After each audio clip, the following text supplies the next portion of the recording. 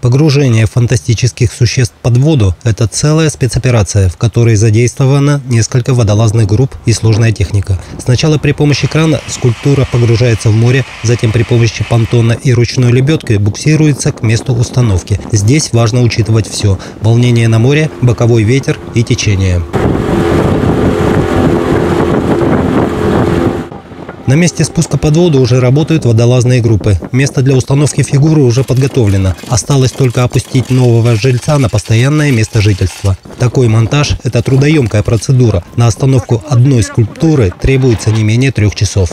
Сложность небольшая была в том, что присутствовало течение, причем довольно сильное для Черного моря. Э, глубина была около 4 метров, снесло приблизительно под 45 градусов у нас тропу.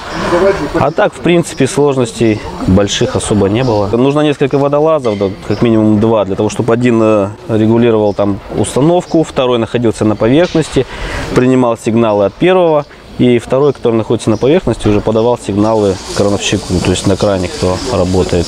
На создание этой статуи ксеноморфа у мастера анапчанина Андрея Острякова ушло полгода работы и более трех тысяч деталей. В длину 3 метра, вес почти 3 центнера.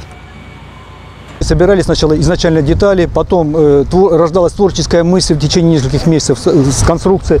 И по, в результате длительной работы получился вот такой замечательный фантастический герой. Это герой из фильма «Чужие». Вот. Он охраняет э, свое потомство, которое вылупляется из этих вот замечательных яиц.